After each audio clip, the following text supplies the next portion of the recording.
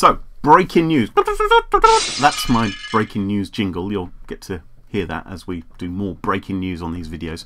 Breaking news is that police have arrested someone in connection with the TalkTalk hacks, the uh, latest security problem which TalkTalk, uh, the major ISP and B2B service provider here in the UK, um, after they got hacked on October the 22nd, and everyone got the collie wobbles, all the 4 million odd TalkTalk users were up in arms saying, oh, oh my, you know, my, our personal information has been grabbed by these bad guys. We're going to get even more phone calls from the scammers as a result of this. And people who had shares in TalkTalk thought, God blimey, this is awful. We're going to sell our shares because we don't trust that company to be competent anymore.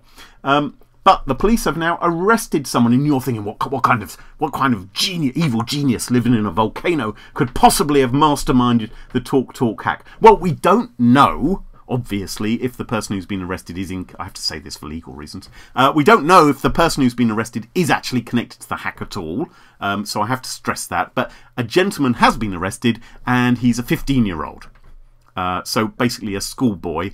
Um, has been taken to the police station uh, suspected of some kind of involvement in the TalkTalk Talk hack. And the TalkTalk Talk hack, if you remember, uh, was the combination of two things, we believe. We believe there was a, a, DDoS component, that's a distributed denial of service attack. That's when a website gets so bombarded by traffic that it finds it hard to stand up. And so it just sort of wobbles a bit and then sort of teeters over and crashes. Um, now, we believe that was designed to be something of a distraction from the main attack, which is thought to have been what we call an SQL injection attack, a SQL injection attack.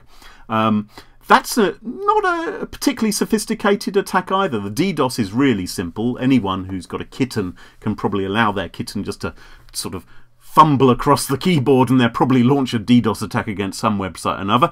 Uh, but a SQL injection attack, not very much more sophisticated, but it is a way of tricking poorly coded websites into coughing up their supposedly secret database information and allowing it to fall into the hands of hackers. Now, SQL injection attacks aren't anything new. Um, they've been around for a decade or more. People have known about them, and anyone who has read anything about coding websites should hopefully have found out how to avoid SQL injection attacks. Just careful, sensible programming is the way to avoid it rather than sort of careless, flagrant programming.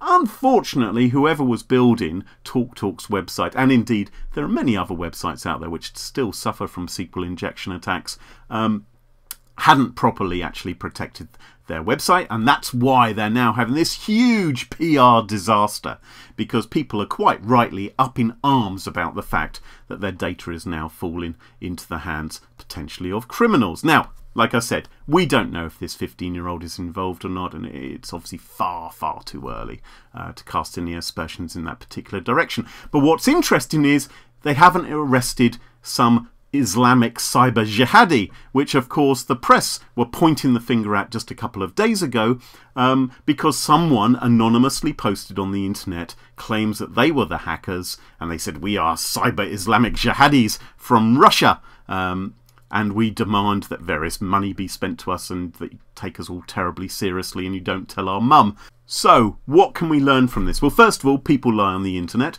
and you shouldn't necessarily believe everything that you read on the internet, or indeed what you watch on the internet. Yeah, all kinds of people talk all kinds of nonsense. Um, but so you shouldn't believe everything which you see on the internet. And furthermore, if you run a website and your customers have entrusted you with their personal information, including their payment card information and their email address, all kinds of details like that, then you have a duty to properly protect it, to make sure that your website is built securely so that it won't spit out information into the hands of hackers and identity thieves. And the way to do that, I would suggest, is you should go to your IT team and the system administrators and the web coders, the people who built your website, and say to them, when you built this website, were you aware of SQL injection attacks, were you building it in such a way that those kind of attacks would be repelled and prevented from happening?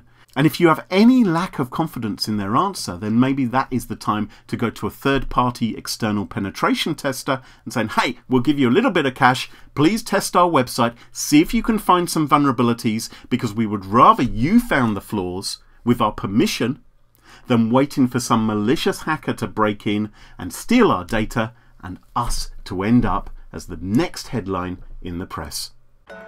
Thanks for watching. I hope you enjoyed the video. If you did, make sure to like it and check out some of the other videos I've made as well. And if you really want me to make more vids, then subscribe to my channel. Alright? So, have you subscribed yet? Come on, subscribe.